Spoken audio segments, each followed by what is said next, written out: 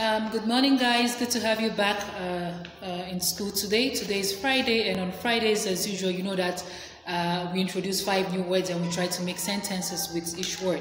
So for today's uh, new words, we're going to introduce the words come, come, C O M E, come, eight, the number eight, E I G H T, eight, five, F I V E, five, four, F O U R, four and gave, G A V E, gave.